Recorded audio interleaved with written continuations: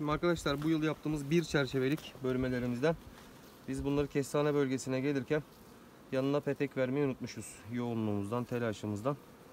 Durum vaziyeti görün arkadaşlar. Yukarıdan görünüyor da bir de içeriden görün. Mehmetçim yakın gir.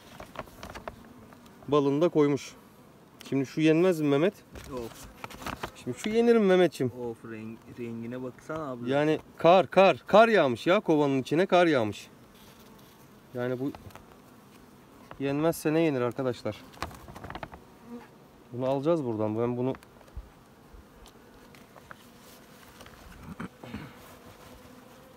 Şimdi Petek kar gibi ama bal balın rengi nasıl? balın rengi de koyu. Koyu. Balın rengi de koyu.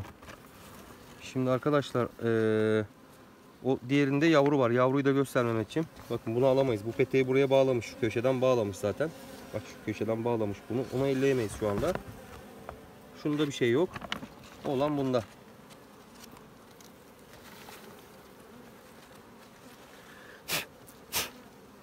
Rengi belli oluyordur arkadaşlar. Kar gibi peteğin üzerinde. Evet. Bak.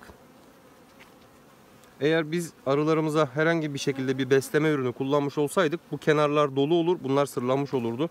Burada gelip de böyle sırsız petekleri çekmezdik arkadaşlar. Ana değişiyor demişiz. 6 Haziran'da ana değiştirme ile ilgili bir çalışması olmuş bu kovanın. 3 çerçeve arı.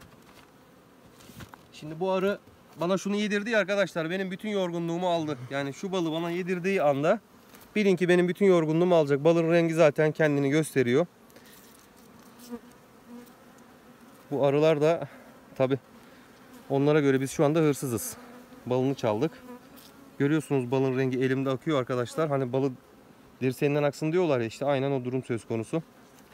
Biz bunu yerken çekmeyelim ayıp olmasın da yiyeceğimiz malzemeyi bir görelim. Güneşe tutayım şöyle bir de. Evet.